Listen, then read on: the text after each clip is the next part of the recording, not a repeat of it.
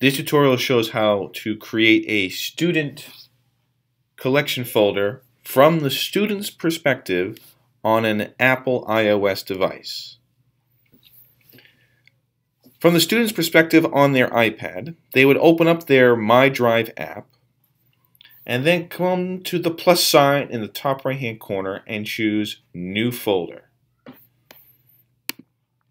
They would then provide a name for that new folder following the naming scheme that you, the teacher, designate, and then choose Create.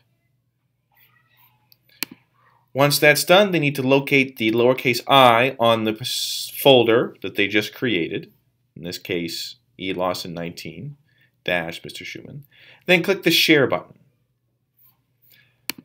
They then will provide your, the teacher, email address so that they can add you to this folder. Making sure that they give you edit permissions on the folder. They would then click the blue checkbox to complete this action.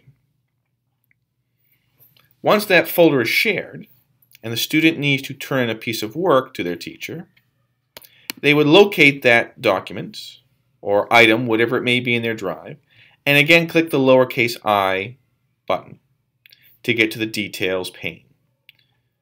From the details pane, they will want to click the move to option and then browse to the folder that they are shared with their teacher.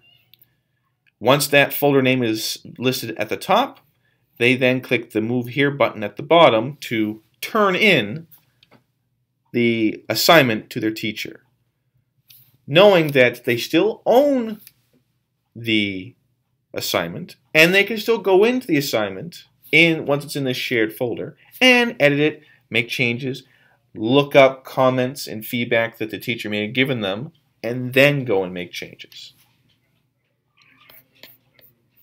This concludes this tutorial.